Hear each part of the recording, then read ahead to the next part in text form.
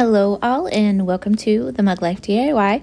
My name is Julia, and I am so glad you decided to stop by my channel. So, jumping right into project number one, I am taking two Dollar Tree signs and I'm going to combine them to make a larger fun sign. So I picked up this little wooden plain decal sign with the frame and I grabbed some of my favorite scrapbook paper which is from Michaels and it is kind of like a nautical summery coastal vibe which is what I'm going with. Now I picked out one of the kind of it's like a pale coral pink color and I Mod Podge and water well I spritz my paper with water and then I apply the Mod Podge to my cardboard. Then I layered it with my sign. Now I did use two Dollar Tree Chico blocks to kind of lift up the sign a little bit. So that's kind of like why it looks raised. But I just wanted it to stand out a little bit more. Now I took one of my ink pads from Tim Holtz and I kind of just distressed the edges a little bit. I just wanted it to stand out a little bit more. And then I really liked the color, so then I went back and I distressed my whole natural frame with that same ink pad. I always feel like there's one project, there's one piece, like in every single one of my videos, that is like a struggle bus. And oh my goodness, this sticker was like ridiculous to get off. I did all my normal tricks. I used my heat gun, I used my scraper razor blade, I tried everything, and it took forever to get off.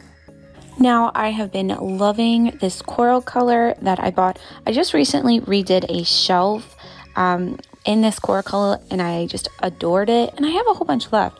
So I bought it. It's from Lowe's. It's the Kilns um, chalk finish paint that you can get it tinted to any color that you like.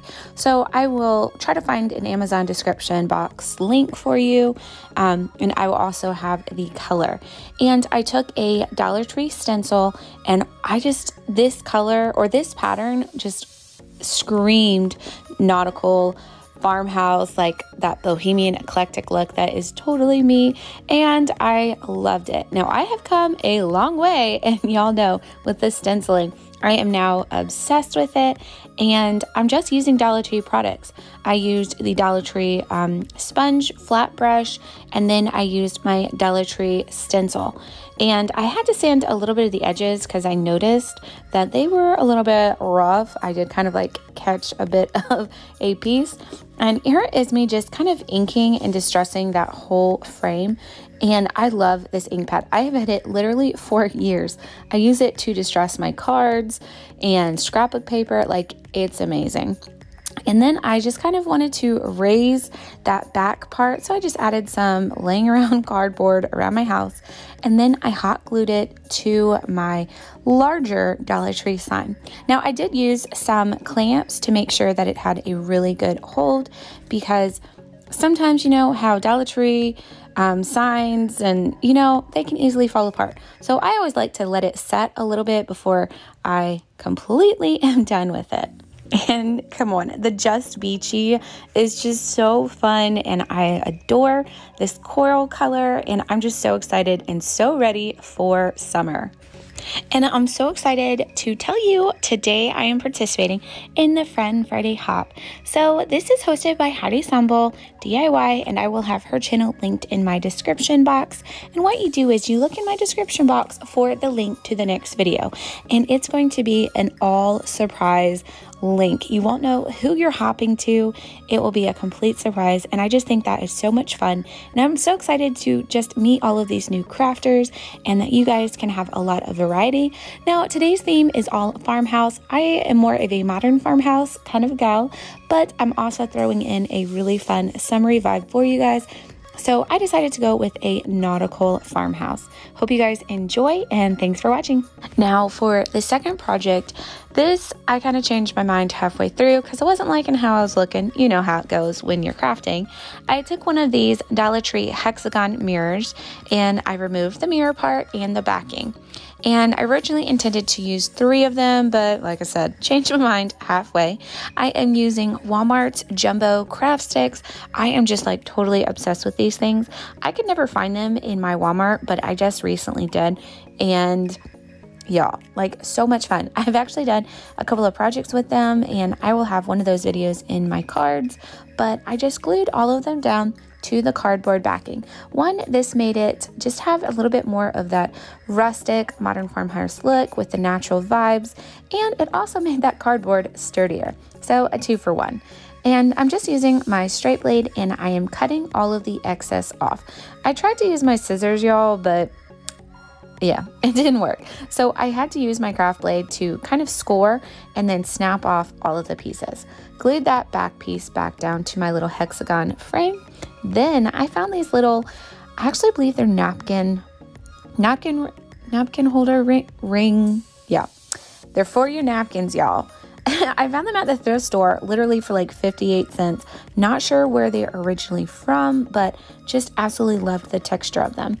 And I wanted that uh, classic kind of black and white combination. So I painted all of them first with a nice thick coat of black paint.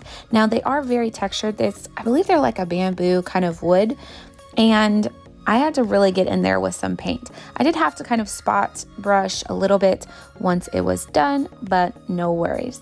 I took some white chalk paint and painted my frame because I wasn't liking the black one black, so I went with a combination of colors.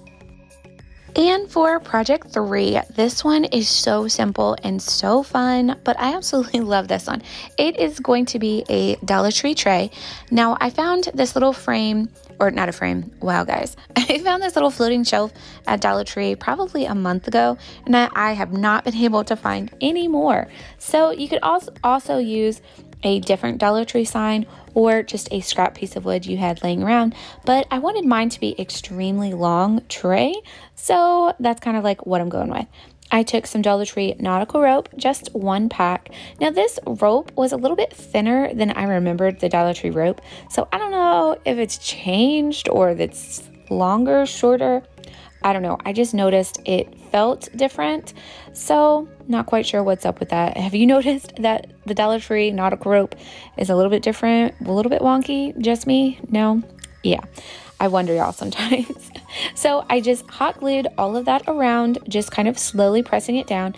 And I did use some clamps around the corners just to make sure it had a really good, firm, and secure hold. Now I just wrapped around all the way around once because I only had one pack you could go around a couple of times and it would still have a really fun effect. Now, in my stash, these are actually from our home renovation in our old home. I use these knobs, I believe I got them from Lowe's or Home Depot in our old kitchen remodel we put all new cabinets up and everything hardware and i had just happened to have two laying around. So i super glued those down let it dry. I did have to let it dry for like 12 hours before i could move it. And i am taking three of these dollar tree vases and i'm not doing anything to them I just thought they had that modern farmhouse nautical vibe with the twine wrapped around them. And I just filled them up with some Dollar Tree, kind of that teal sand color, which is from their summer line. And then I added some seashells and placed them on my tray. And this is how it always goes. It's the project that I think will be the easiest that gives me the most struggle. Like I was on the struggle bus when I was crafting these the other night, but I was so determined to get these out and yeah, it, the struggle was real. So I took one of these little Dollar Tree anchors and some Dollar Tree, it's that nautical twine, but it's a little bit thicker and it had the blue, that navy blue. So I wrapped some tri- twine around the bottom edge after I looped it and then I cut it down. Now I found this little tassel in my craft room when I was trying to organize and clean so I'm kind of just reusing it. I thought it was really great. I will have a link of how I do my tassels but they're pretty basic. If you're not sure how to make them I would definitely have that link in my description box for you guys so you can kind of see a slower slower version of how to do it. Then I kind of just hot glue slash burned my fingers several times, just trying to wrap in place and kind of finish off the um, twine because I tried to knot it and it just wasn't working. And I liked how wrapping the end kind of twine pieces looked.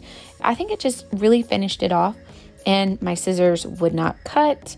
So I switched my scissors and then I trimmed them down because I really wanted to have this a finished and polished look for this little anchor, garland, rope, nautical, whatever we're calling it. It's just so fun and it was so easy, but the struggle bus was real because I couldn't figure out how to knot it, how to do this, and burnt myself. Oh, struggle was real, y'all.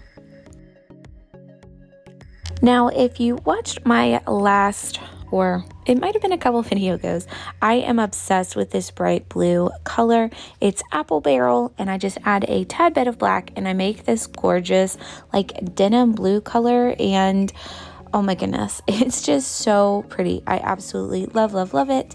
And if you're wondering what in the world are those little red guys, I bought those to redo my dresser. They are little stands or something like that from Home Depot. I will have an Amazon link to them because they're amazing. They make doing signs and projects so much easier. I love them. I took a Dollar Tree tag that was a fail. Yes, whoops, I dropped it. Kept going because real life, real crafter right here. I'm a hot mess when I craft. And what I did was I just took the sign, painted it with one coat of that navy color. Then I took a Dollar Tree um, sailboat and painted that white and let that dry. Of course, I had to use my heat gun because, y'all, yeah, come on. And I just glued that down. And this is the smaller tag sign from Dollar Tree. It was a Christmas one if you don't recognize it. And I wasn't just liking how I was looking, of course, so I kind of just added a little bit of white detailing and I thought that stood out a little bit more and I liked it, but to each his own. You just kind of have to craft until you are loving it, you feel like it is a perfect piece for you. And I just took some Dollar Tree twine and wrapped it around the bottom. And yeah, you can see the Hello Winter Christmas tag. I bought these, I actually think two years ago and never crafted with them. So reuse, y'all. And then I thought it looked a little bit off balance, so I took some more twine and wrapped it around the top, kind of made a fun little pattern, and hot glued the top down. And if this is your first time stopping by my channel, welcome. I am so glad you decided to check my video out and I hope you will love and are inspired by my crafts and my DIYs. I love all things eclectic, bohemian, modern farmhouse, and I would love it if you would subscribe and let me know which one is your favorite project. Now, another little thing that I love doing is bonus projects. This little piece was the Dollar Tree little tile frame, and I am taking that same little Dollar Tree, um, oh God, what is it called? The stencil. and I am stenciling kind of an ombre effect of some leftover blue that I had. And I'm taking a Dollar Tree shell. And yes, I am painting the shell because I love the color combination. So I just kind of incorporated all of those pieces together and layered them. And then I'm going to glue the little painted shell with a small little building block and then placing it on the middle side of my frame. And always, I love, love, love finding out which one is your favorite project. So make sure you comment down below and let me know which one is your favorite DIY and I am absolutely loving like these are so fun this nautical farmhouse look. And everything is just coming together in my dining room and it's just so much fun. All of these colors just bring me so much joy and the little tray is absolutely fun. This piece I can use year round and honestly probably will the anchor as well. Since my husband is in the Navy I do kind of love all things anchors and like to de decorate with them everywhere in my house. Let me know if you do the same thing with certain things. You keep them out year round, like just me. and here is the little, little tray. Oh my goodness, it is so fun. And these little shells with the blue, it's just such a fun, like I said, color combination that I was going with. This could also definitely be used year round. You could change out the decor, add florals, just the possibilities are endless. This denim blue is just so much fun. I am so happy with how all these projects turned out. I am so thankful and grateful to have participated in this friend hop. And don't forget to check out the description box to the link to the next video so you can hop and go all the way around all of these amazing collab and creators. I hope you enjoyed this video and you enjoy all of the videos. And thanks for watching, guys. Till next time.